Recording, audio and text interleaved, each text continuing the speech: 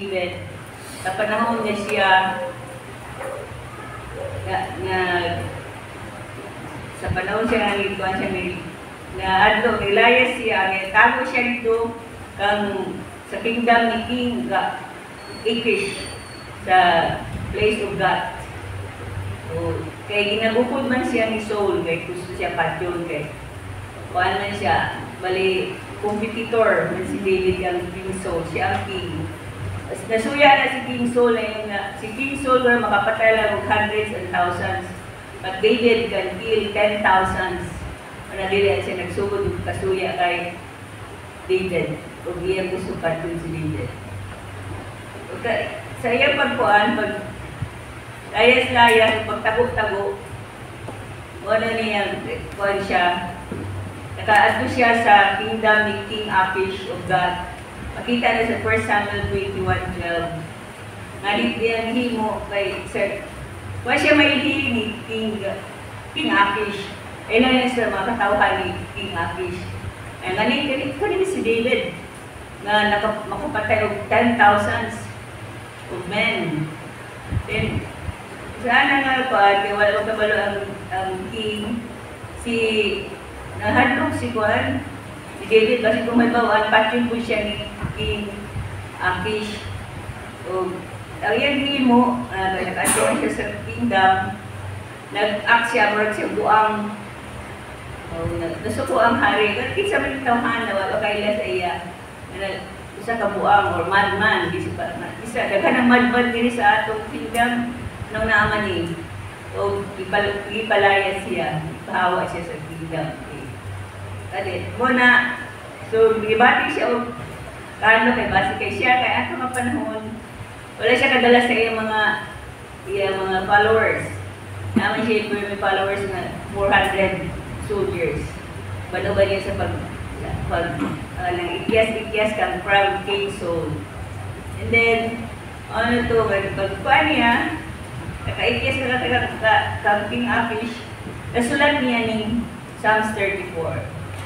Asang uh, i-compose ni niya ni o nanawagan siya na so nakuha nagkakita na ako di ba si David is a strong man and walay kahadlok nga siya ipatayin ni Gulayat sa sa gamay niya nabuntog ni Gulayat because of his faith in God.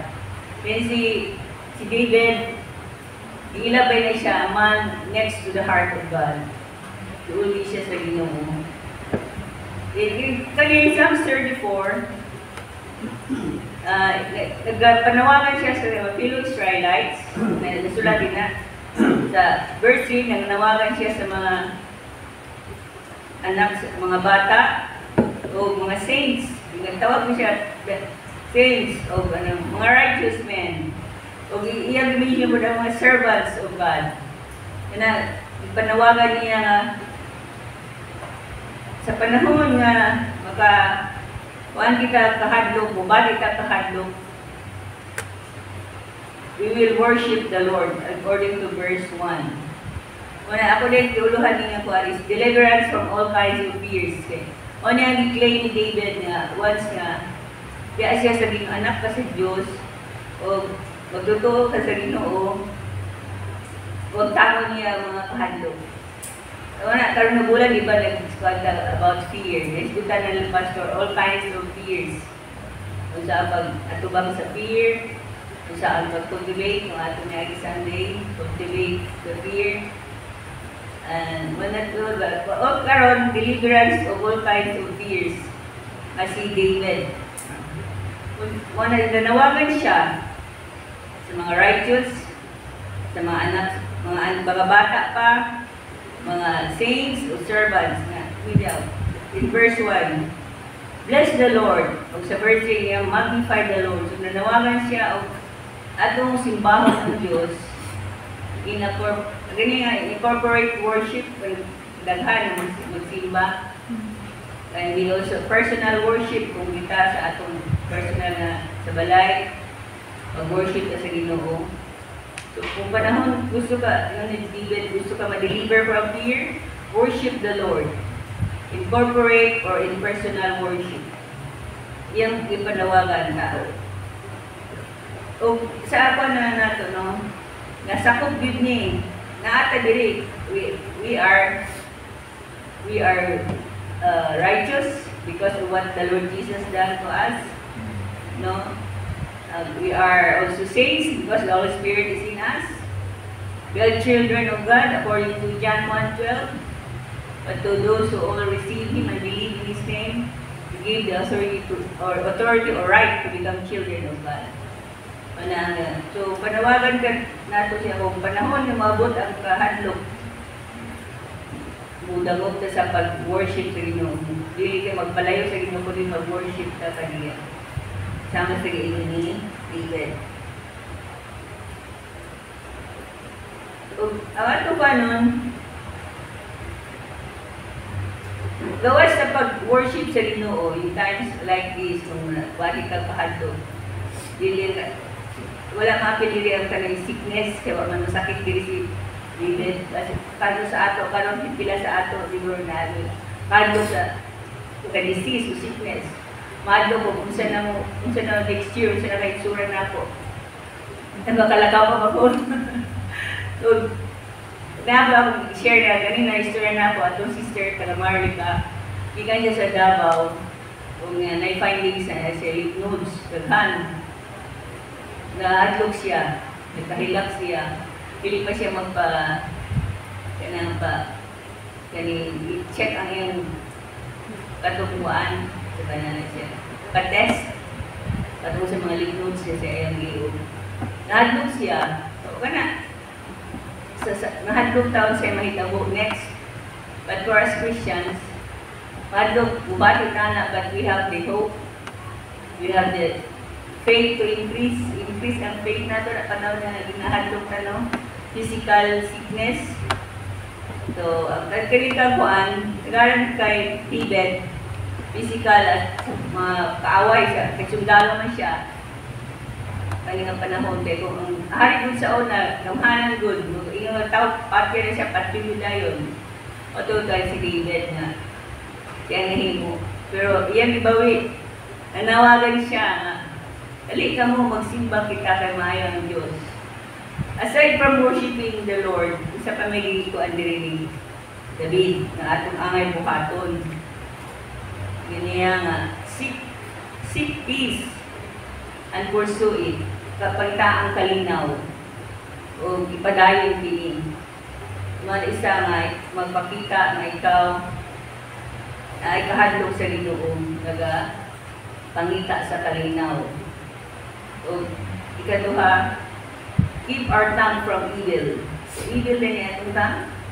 According to James 3, our, the tongue is the root from all evils.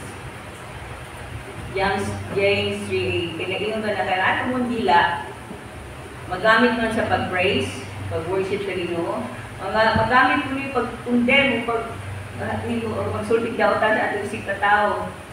Ano eh, kaning ikuan tang, pabantayan ni David, keep your tongue from evil and your lips from deceit. Bantayan na to. Ah, dili ka, na-control atong dila, dili dali makatalik. Sulting bad words. Ito, bad words, evil words. Bantayan nato na siya. O, yung pa sa niya, sa verse 30 nga, no, ingon na ni David, keep your tongue from evil and lips from deceit. Sa verse 14, nalingon, tulo lang ako, di man na turn away from evil. Ayan, turn away from evil and do good. Gilga mo giawhag na. Pagpalayo ka mo sa dautan, o paghimo og maayo kung binisaya ka. So, kana lang, aside from worshiping the Lord, gawag siya mag-seek peace. Diba ang peace ang makita na nato kang Jesus. So, Ginoo lang ta mo ba na niya may kalinaw. O keep our tongue from evil. Um, sa James 3.8, according to pabasa ninyo na siya, ang lips from deceit, dili ka mang mangilad. No? Kung mangilad ang sa katao, wala na siya kahadlong sa Ginoo. Kung dali rin mamalikas, layo mo na sa Ginoo. No? Kung sinabi pa ang wala pa magpamold sa balang espiritu ang control ang iyang dila. Then, sa iawhag ni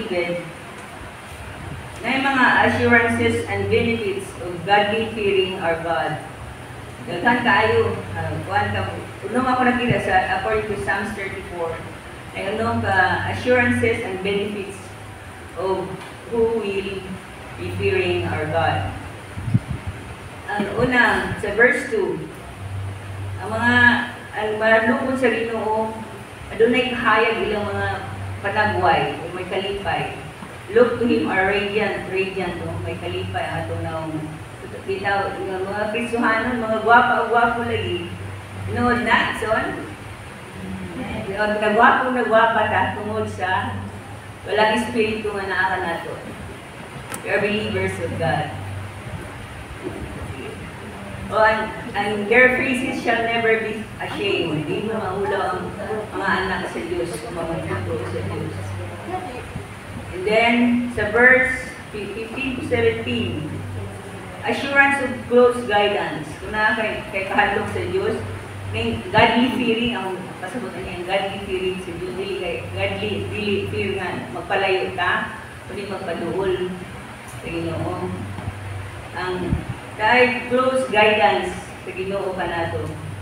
Kung kita godly fearing, ang iyang mga mata o mga dalunggan, duol ka nato pagpaminaw sa atong mga kalambo. Yung patingin, eyes and ears of God are near to us. Sa ikatulog. The verse 6, encampment of angels. So, tama yun yung, yung praise pastor ka, mga anghel na tabunan ta kung travel, bananta, atong safety, maka, uh, makahamit ta sa ginoo nga in, eh, encamp ta through the angels. Okay. I-mention gani na ni David diri. We will be enca- encamped by angels in times of troubles, in times of uh, katalagman, the angel will cover us or watch us. Bantayan kita. Then ikaupat, ang godly fearing man or child of God, have no love. So, dili daw mahabsan. Dili mahabsan, hinoon na isuon, dili daw mahabsan. Mahabsan ang bugas sa sudanan. Na, na bugas. Dili kung, pero dili sad ni, ni, uh, sure ni David, na dili gid ka mahugdan. Laking natin supply of our needs, dili ka mahugdan. So, mga anak si Diyos, ato i-claim na. Kung nahugdan ka, ato mo na, Lord, anak mo ko niyo, mahugdan mo ko, uh, dangog ka sa ginoo. And then, kung panahon ta, in times of broken-hearted or afflictions, troubles, God will deliver us from it. Dili man ta maka maka yung nag-judge ka kapag sa inyong pastor ka dito nga lugar sa India, kaya nang matay na nato dili. Ginoo na kay balo. At ating claiming, kung time of afflictions, troubles, broken-hearted, the Lord our God will deliver us. No? Gwapo kaayo. Siguro, na, na may ang tanan na magkatuyuan sa Ginoo yung magkitabo sa kalibutan. Labi na itong anak sa Diyos na giinungdan ba lalo na itabo na sa iyang sarili o sa iyang family. Ano siya. And then, number six, isa pa nga assurance. Kaya nga, for our benefit of a godly man, ang Ginoo, God condemns those who hate the righteous. Ang Ginoo ang condemn sa, or kung daog-daogon ang mga matarong o anak sa Diyos, ang Ginoo ang condemn na na o magsilo na na. Mana, bitaw no kung kanang mag-iha, at kung di magfile ang kaso, ay tungod ana na natumba na itong katungod. Usahay mo ang Kristohanon mo, usakay din ay nga, mag-iha. Aron, pero atong wala na, ginoo na ang mubalos kaniya. Ginoo na magsilog sa iya. Kaya ikundema niya, nag-hate siya sa mga anak niya. Diba, mga anak ka sa Diyos? Naman ang assurance nga, kung mag padayon ka, godly fearing person, godly fearing child of God, kana ang mga beneficio na ito, mga ma ma-experience yung matagamtaman. Tamtang galakaw taning kalibutan na. Tamtang buhi pa ta. God is always near. Always kaya yung dalunggan o mga mata, ipaduol pa yun niya para madunggan na itong mga pagpilak. Maghilak sa ginoo natin problema, ating pangayoon. Ang ginoo, maminaw gayon sa nagtaong matarong. Di ba, nung matarong naman ta, you are more blessed. Kaya sa panahon, na, panahon pa ni David, si David, ang Espiritu sa Diyos na sa iya. Dili tanan na Israelite na pinili pa sa una. Karon karon walay pili but to those all who receive and believe ang Espiritu ang Espiritu na kaniya. Amen ba? Reason? Ang balang Espiritu na ka na to. So we are more blessed kay kay na to nag So kani kay David, i-upgrade na po na-upgrade sa parang New Testament na. New Testament na karon kay na mga anak naman sa Sir Diyos according to John 1:12 or mga ano to may mga or mga adopted children of God. Okay ba mga anak? We're adopted mga anak sa Diyos. Hindi na pagbuot sa tao, kundi pagbuot sa Ginoo. Kita may mga adopted child of God. So, mga soon, we are bound for heaven. Amen? Yes, at doon kita sa kalangit, tungod na sa saan sa Ginoo.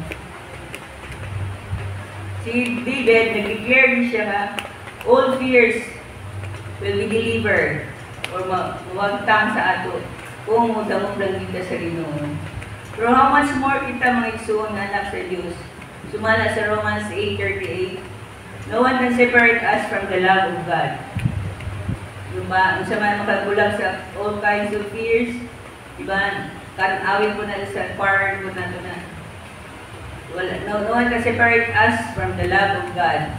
Kung sa man yun, sa kalawong, sa kalapat, sa ka, kuyaw kaayo, dili, wala may makapahimulat ka na to, gikan sa gugma sa Diyos, diya kang Kristo.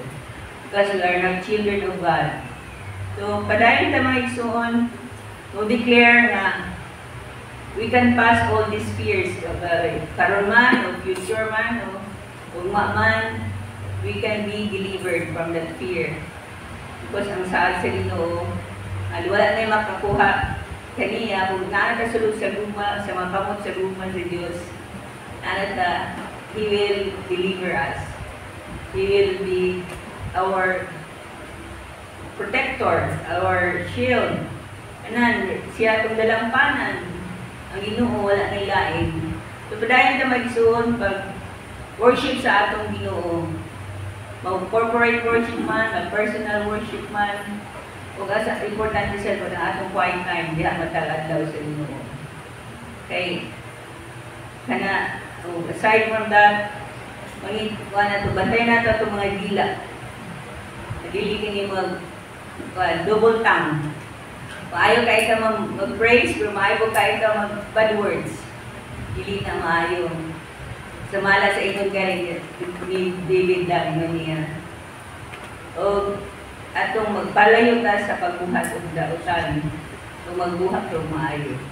Kaya nato ni may kung atong atong ipalihok ko na balang espiritu sa atong kinabuhi.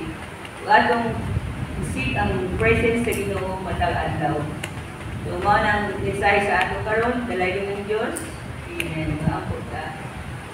God, you are wonderful.